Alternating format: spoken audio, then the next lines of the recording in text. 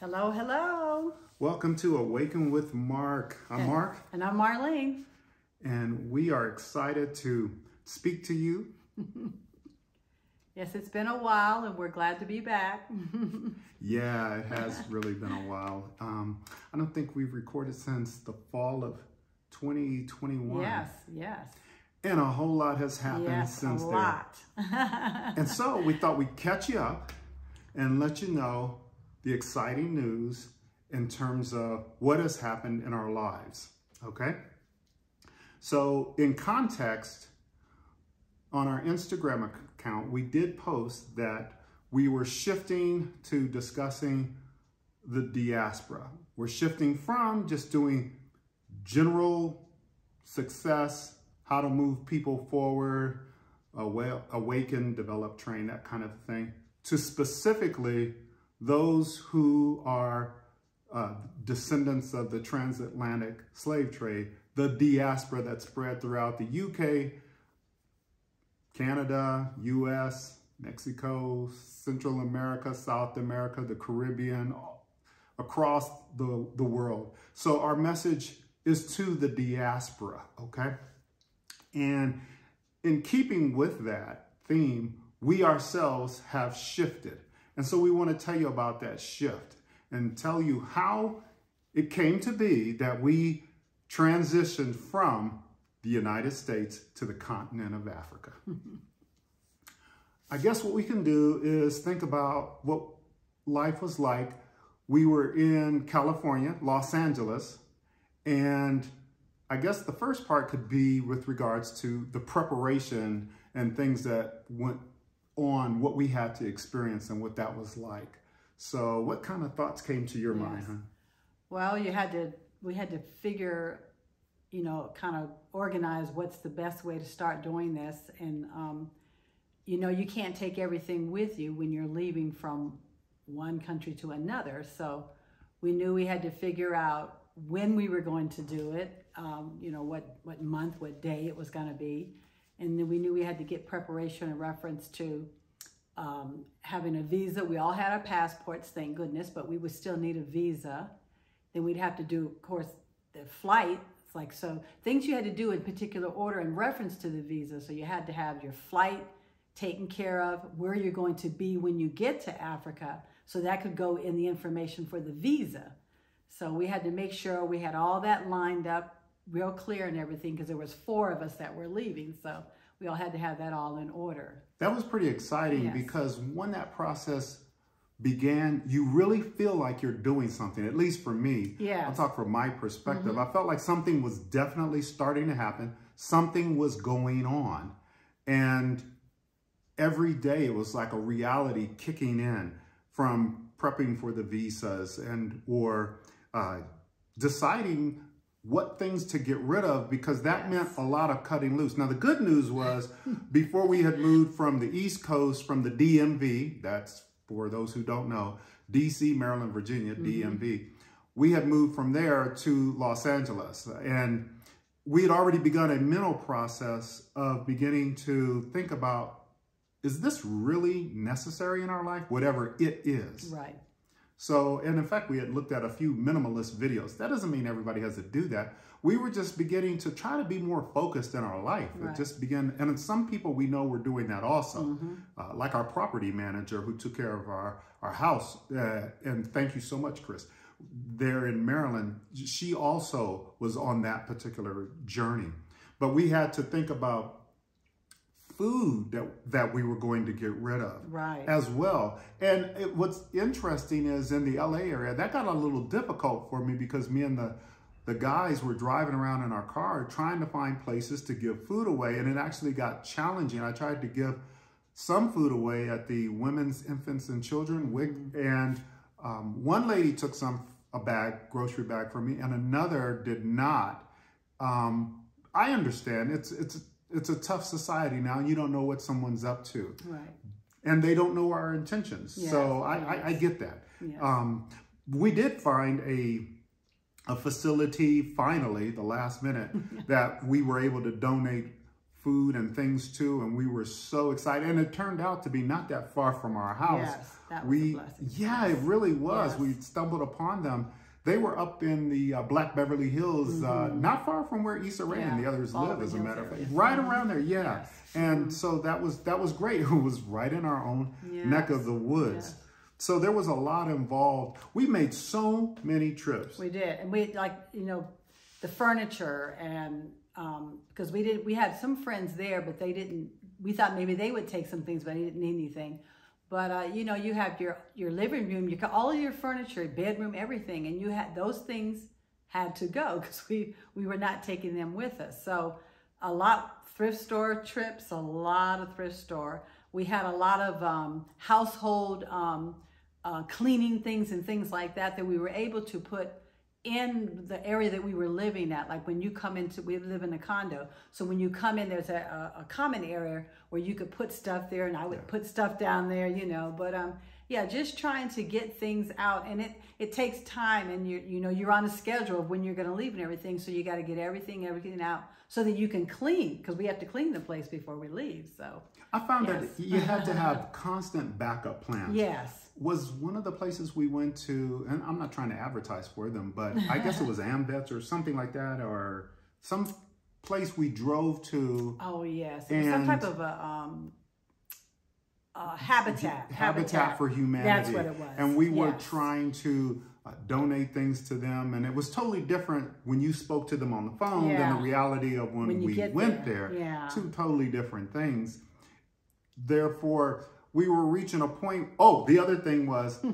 when we left things out on the curb hmm. for either pickup. or bulk trash, it- people in the area somewhere were picking the stuff up, which was a good thing. We're Yes. glad they did, as a Yes. matter of fact. But they were acquiring or obtaining the items for themselves. Right, right. I really enjoyed that shift, though, that mind shift Yes. that begins to happen when you are giving away your items or Mm-hmm.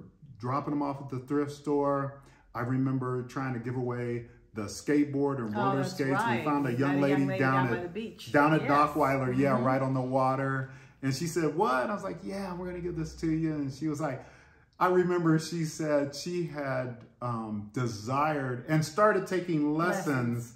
Yeah, on skating, skateboard. yeah, Yeah, skateboard. skating. So mm-hmm. a, a week or two before, that was really exciting. But it it gets you ready for the big event, and I needed those things going on in Yeah, me. yeah. I don't know. That's about the preparation to leave Los Angeles.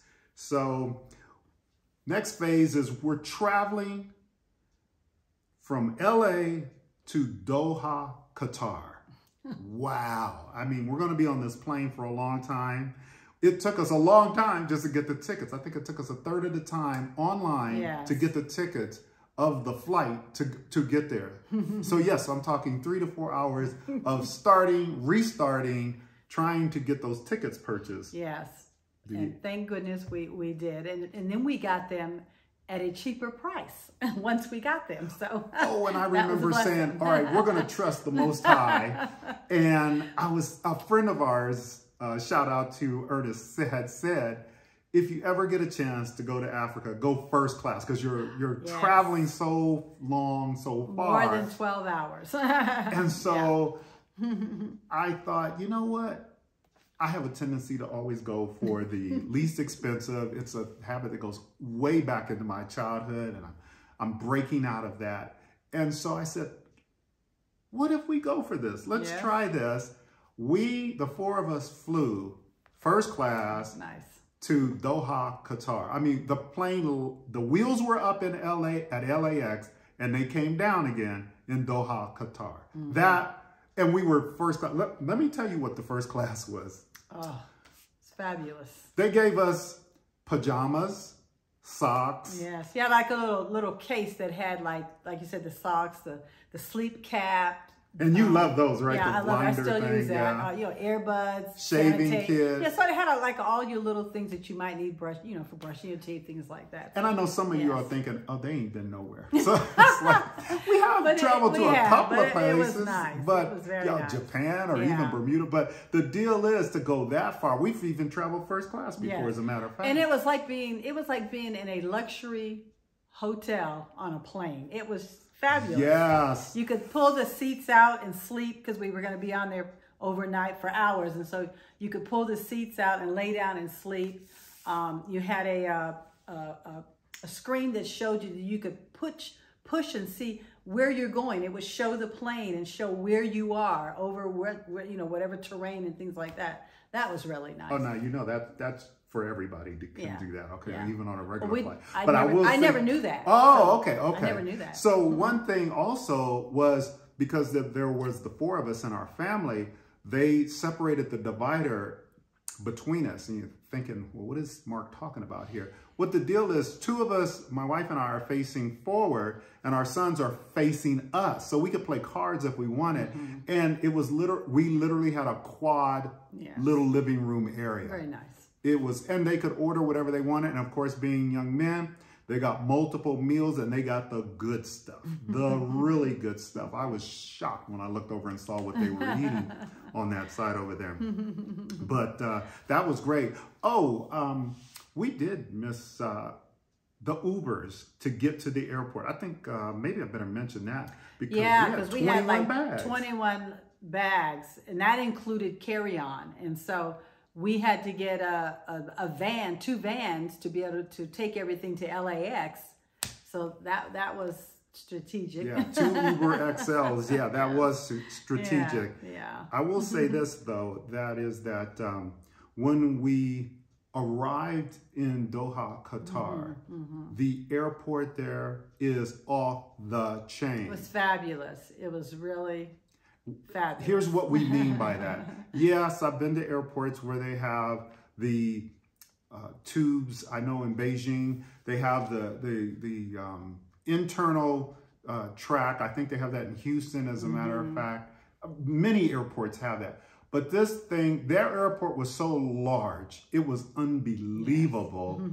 We had ordered a concierge, so we were escorted when we got off the plane. They That met us with a little nice. sign Yes. and were leading us to the lounge we were going to because when you go first class, you get access to the lounge. And so before I get to the lounge, there are high-end shops. Mm-hmm. The airport is clean, brand new. It's very efficient. There was international uh, displays that the concierge took our picture in front of, like stuffed animals, like you might see Mm-hmm. In Japan for the Olympics. this huge 14-foot thing. All of that was nice.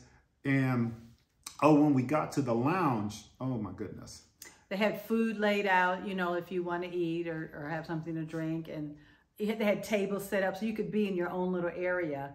And we're in there for like about seven hours, the layover, un, until we, you know, head on to, to Africa.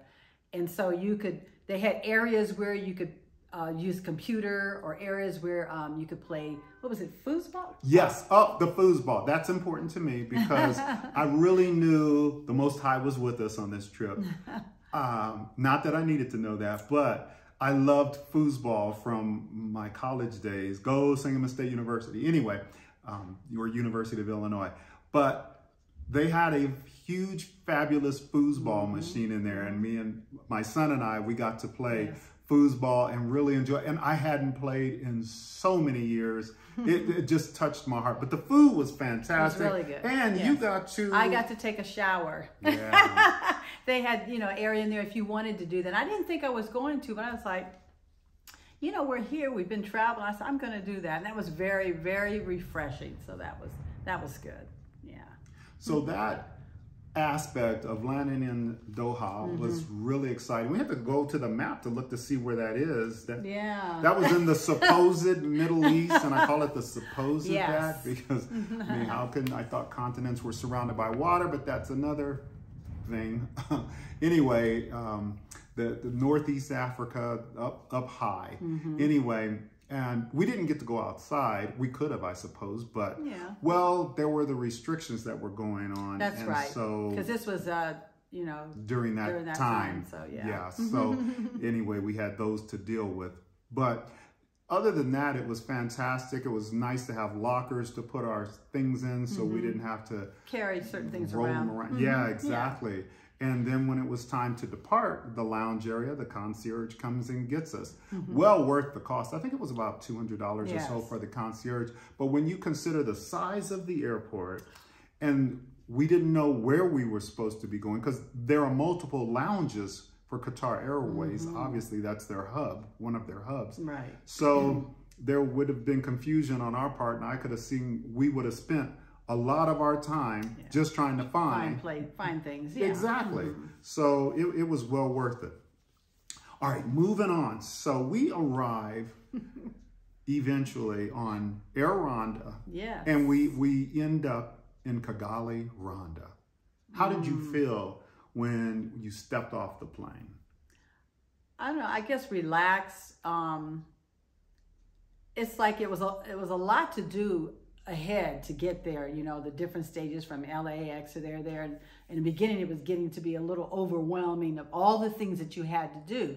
But mm-hmm. now that we were here, it was like it was like you could just kind of relax and just kind of be at peace and just you know enjoy the next phase of what we're going to be doing and where we're going to be going. And so I, I felt good, happy to be here, very happy to be here. Yeah, I wondered if I would kiss the ground, but it was. I, uh, I didn't think about it. I think it. was raining, and no, I'm not putting my lips on the ground.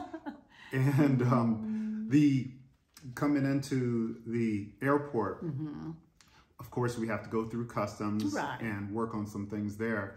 We came in on a, a 10 year visa, which is fantastic, Yes, and and- we had that in advance. Yes, that was very helpful. That's Yeah. do that. do that definitely the uh, going through the customs was smooth and. Yeah, that was- easier than i thought as a Yeah. matter of fact we we went through, you know, you come through one area, then you go through another, and there's the luggage. The luggage was all right there in one area. It's like sometimes, you know, you gotta wait, you gotta wait. But I was surprised they were all. I don't think I was waiting for any of them. They were all kind of like sitting out in one area, and we just yeah got them and started figuring our way out of the airport. You know, so and the van was there to pick us up and of course we needed multiple vans Yes. because of the number yes, the amount of luggage we had Mm-hmm. it was uh, excellent staying at the marriott so we were going to be going there one unusual thing happened i needed to go to the restroom and i remember going back to the from the van back to the right. airport and asking the guard who's a soldier about that. Now, I, I've witnessed soldiers in Mexico and other countries mm-hmm. where they're standing there with, with guns, but I must say there was nothing like the feeling of looking at someone who looks like you and not feeling intimidated, not feeling that you got to look over your shoulder, not mm-hmm. feeling that this is going to go awry. And I mention that because there are Yeah. friends of ours who had not made it out of the the states because they had different flights to catch as they right. were on the East Coast. And I think coming out of Boston, they almost missed a flight Right. because of an interrogation by the authorities air quotes there they may have uniforms and badges but whether they're very anyway i'll leave that alone and so uh, one of the one of the passengers literally was interrogated about them about how much money they have and and also where you're going. Um, literally it was one of those things where you know something was going on because of race. And they're in boston which is not your most southern hospitable town. And i know people would say oh, it's not in the south. I'm talking south of the north pole. There's nothing hospitable. Right. anyway this was incredible to have learned that our friend went through what he had to mm. go through by the authorities to be stopped. And literally i think they had to hold the plane while the the authorities supposedly finished interrogating this individual for nothing. So mm. what i'm trying to say then is to draw a comparison mm-hmm. between my experience of just wanting to go to the restaurant I'm talking to someone and they treated me kindly. They treated me with respect. And so that really felt good. And this was early out of the chute. I hadn't even sat down in the van yet That's right. to depart. I wanted to go to the restroom before we started heading towards the hotel. It was a nice day at the hotel. Very nice. I think sometimes we had language challenges. We, we didn't learn Kinyarwandan, that's uh, one of the key languages Right, here, right. or French. You're going to have Swahili if you're probably further south, Mm-hmm. but um, here, French, Kinyarwandan, I suppose, the languages to know. And do people do attempt to speak English here, which is very helpful, and they do drive on the right hand like side the of the road. yes. yes just like in the States.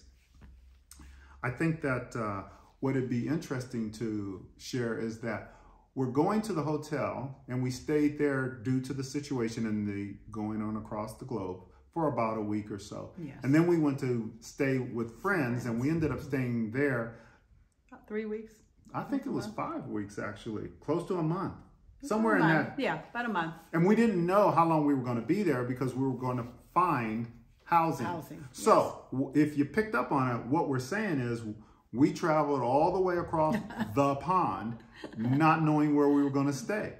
That's exactly right. And another set of friends of ours did that, and everything was It fine. We found a nice place, which is what you're seeing the videotape in, yes. as a matter of fact. I must say, we thank the Most High because that occurred for us driving from the DMV to Los Angeles, where we had a fabulous cross country ride, stopping in the French Quarter, Tuskegee Institute, Atlanta, Grand Canyon. Yes. We didn't know where we were going to be staying in Los Angeles, even as far as where we were in Mississippi. We were signing forms Yes. online on my cell phone doing DocuSigns. I think, I'm not saying everybody should be trusting or walking like that in faith, whatever. But what I'm saying is, it is true that 90% of the things we worry about do not happen. Right.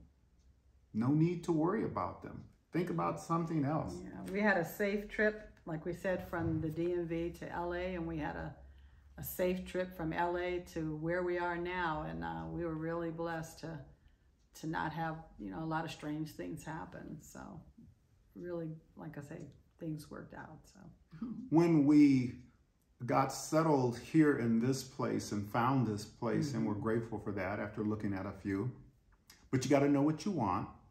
Um, and the price was right for us. Then it was time to take care of sundry items. Um, I needed to get, I brought a phone, a cell phone that I had paid off in the United States. Right. And what I didn't know and I learned when you pay off a phone, that quote unlocks it.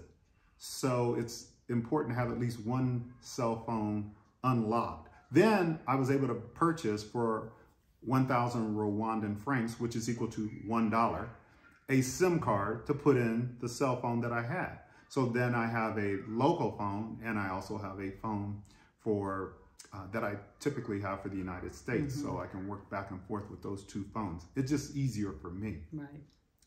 Um, a thing about the the home here and the way they do things. So most this is a cash society. They're not operating on credit and charge by cash. That means you're paying your rent usually in advance. Some people are able to find a month to month. Some people pay six months in advance. Some people pay three months in advance. With regards to electricity, well, there's a meter on the outside of the house and there's a code you type in and you pay for your electricity in advance.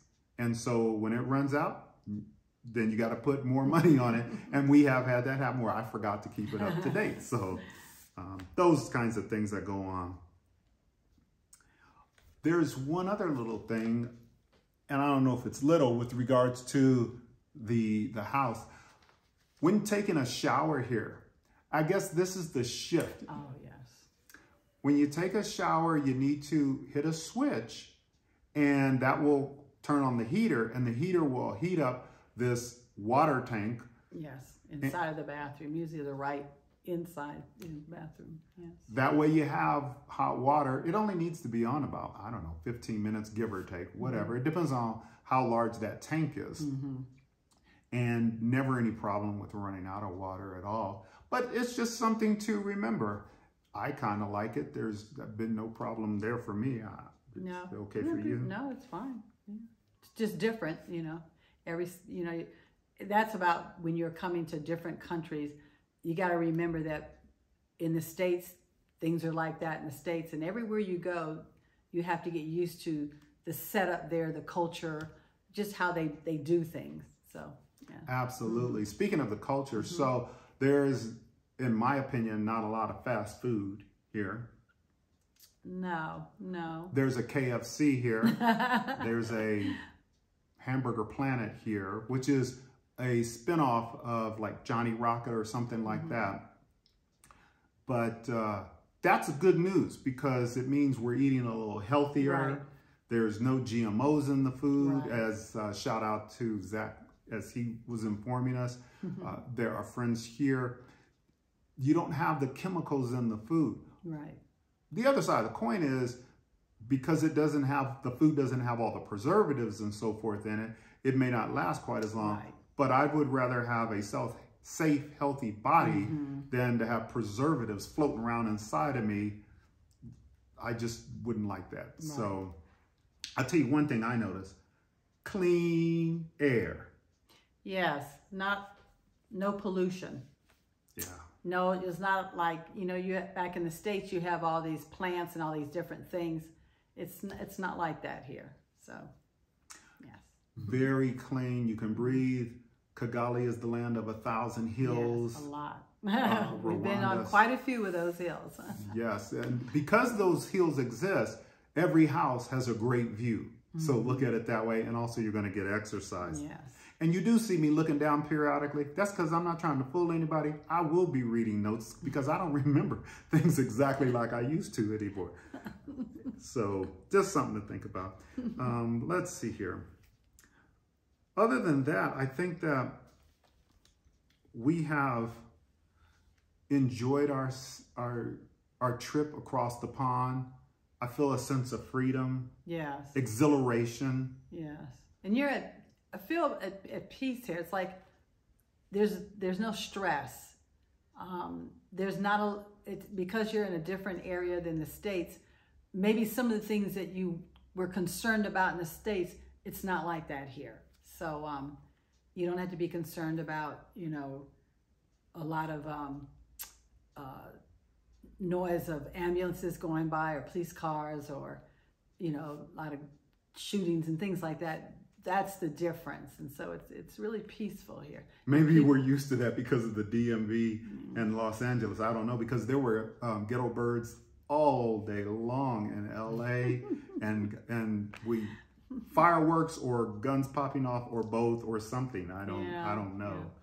I think it's a was a cultural thing. And But, car uh, chases. Yeah, yeah. a lot of car chases. But here it's um it's different. It's slower pace. Um, the people are very very nice, and um, we're just still just getting used to the culture, you know, and trying to branch out more and eating more of the, the foods of the area. Because people ask us, "What are the foods you eat?" And we haven't done a whole lot of the food from here, but we're we're pressing more and more into it. But uh, they do eat a lot of avocado, which is kind of interesting. Which of you meals, love, I right? love avocado, Yes. but it's, it's interesting. A lot of the meals they have slight, they have avocado, um, but uh, you know, It's cool.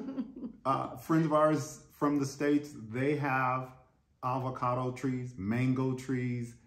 In other words, the stuff is growing right here. And they're big ones also, big ones. So we're having, I call it avamole because I can't understand how do you get guacamole out of avocado, but that's another story. Anyway, they have avamole all the time. the it's just amazing to see these fruits growing on the trees and they're right there for your pickings. the other thing is, well, I, gue- I guess I put it like this: safe, safety. Well, I've been in. We have drivers, and they've been pulled over by the police, and it's no big deal. yeah, It's a light matter. In fact, one driver looked at me and said, it ain't like this in, in the United States, is it? And I was like, ouch. Um, second thing, the, as Marlene said, the people are so nice. They, when we say nice, I mean like honest. Yeah. If I've been paying for something, you use your cell phone to pay for a lot of things through something they call uh, Mo- uh, mobile money, Momo.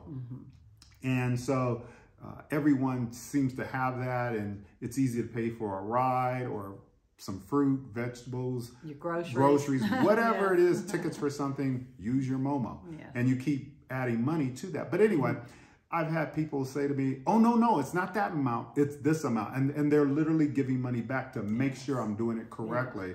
And I really appreciate that. Mm-hmm. So you have the safety, you have the nice people, and the cleanness. Now, there's a YouTuber, and I'm going to say his name. It's Wode Maya. Hope I, hopefully I said it correctly.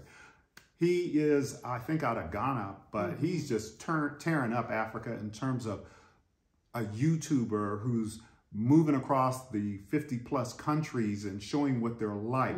Be worth checking out that link. Anyway, Wode Maya literally had heard that the streets were so clean in Kigali that you could eat off of them. So he bought some food, sat down with his paper plate, and was in the gutter eating his food because they're that clean. Yes, they're that clean. It sort of reminded me of um, Tokyo, which mm. is extremely clean. Okay. They don't have garbage cans on the street. You take your garbage home with you. But it reminded me of that. So those are a couple of things that came to my mind. It really is what they say it is. They oh, they've got the basketball thing going on here, the BAL or ball, which mm-hmm. is uh, Basketball Africa League. That's exciting. They have a lot of world conferences that go on here. Mm-hmm. It's just really amazing. We're enjoying it. Yes. Yeah. So I guess we've covered everything. Yeah. And if not, we'll do another video Right. in the future and touch on something. Maybe there's something that you wanted to ask about in the comments. Go ahead and ask. We ask you that you would like, share, and subscribe. Let us know what you'd like to hear about. On the docket, youth in their 20s, Right. we're gonna sit down with them. I've been in conversation with a couple of our new nieces and nephews, and they're gonna talk about what is there to do around here. What Right. do some friends of mine? Shout out to uh, Carla D, who asked, "What is it that folks do here? How do you have fun if you're in your 20s? What kind of activities are there? Stuff like that." Also, how about how we diaspora ought to act? I've encountered a Oh, small yeah. businesswoman, uh, in fact, several, who say, I'd like to talk to your people about that Mm-hmm. because uh, you come to another country, as Marlene was saying, and they have their culture. Right. You don't expect them to change their culture for you. And so she liked, she liked your ear to share some of her observations. And this will help us to, as my mother would say, straighten up and fly right Mm-hmm. and act right when we're here. Yeah, and I think that I'm glad he said that because I think a lot of times people that that travel or just coming to other places, they forget that it's not the United States, and they don't really realize that what you do in the United in the United States or the way you carry yourself, the way you interact with people, it's not necessarily the same in a in another country. Um, like he was saying in, in Japan or in other places, they're maybe quieter, you know. Um, it's it's just different. So those are things you need to kind of pay attention to or do your research, you know, to find out what is it like, you know, interacting with people in different countries. So. Thank you for watching. Thank you for listening. We really appreciate you. And uh, that's it for now. Bye bye. Bye bye.